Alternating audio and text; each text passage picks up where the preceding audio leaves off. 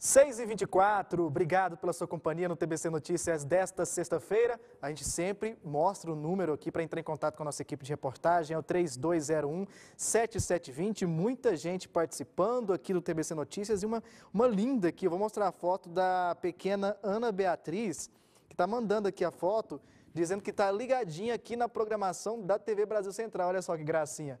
Obrigado pela sua audiência, Ana. Com certeza fica ligada aqui no nosso telejornalismo, nos desenhos aqui da TV Brasil Central. Gente, pode mandar sua foto que a gente mostra aqui no TBC Notícias. Ah, esse carinho de vocês é muito importante para a gente, tá bom? Daqui a pouquinho tem mais participação, porque agora a gente fala que Goiás está em 14º lugar no ranking de vacinação do país. Por isso, vamos chamar novamente a repórter Denise Parreira. Denise, quantas pessoas foram vacinadas até o momento aqui em Goiás?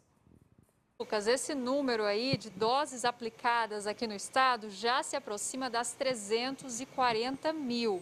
263.134 pessoas já receberam pelo menos a primeira dose da vacina. Isso é equivalente a 3,7% da população do estado. E 76.272 já foram imunizados com as duas doses. Já receberam então a primeira e a segunda dose, pouco mais de 1% da população. No total, isso dá 339.406 doses já aplicadas. Agora, quando a gente fala de vacinas distribuídas, esse número é maior, quase 500 mil. São 495.600, aliás, 495.660. Esse total, esse número é o número de vacinas que o Estado já recebeu e que já foi distribuído pela Secretaria Estadual de Saúde para os municípios. Agora, por conta do esquema de vacinação em duas doses, as prefeituras têm reservado né, a metade do lote, a metade da remessa que recebem para aplicar a segunda dose. Então é por isso que a gente tem essa diferença entre o número de vacinas que o Estado já recebeu e o número de doses já aplicadas. E foi com base nesses números que o consórcio de veículos de imprensa apontou então, fez esse ranqueamento e apontou Goiás na 14ª posição no ranking de vacinação entre os estados.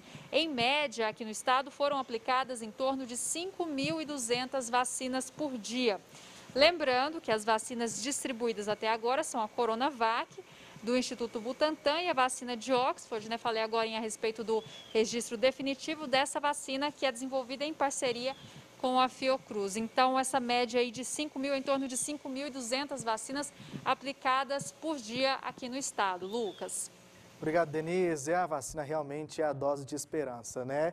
Eu gosto sempre de falar isso porque o número de vacinas que chegam até Goiás, a Denise sabe muito bem disso, é, vem do Ministério da Saúde, né? Do Ministério da Saúde que faz essa distribuição. Não é a Secretaria Estadual que define quem vai tomar, quantas pessoas vão ser imunizadas. Isso vem lá do Ministério da Saúde. Então, a gente pensa que às vezes é o governo do Estado que não quer vacinar tais pessoas. A gente fica na expectativa, né, Denise? A gente torce para que todo mundo seja vacinado, para que os profissionais de segurança pública, eu sou a favor que eles também sejam vacinados e, claro, claro, principalmente ah, nós, né, Denise? O pessoal da imprensa tem que ser imunizado, porque nós estamos na rua todos os dias levando informação, arriscando, e o pessoal de Brasília devia também olhar com mais carinho. Afinal, a gente mantém né, o pessoal de casa sempre bem informado e nos arriscando, né? Você tem filho, tem marido e a gente está sujeito a qualquer coisa. Tá. Obrigado pela sua participação, viu, Denise?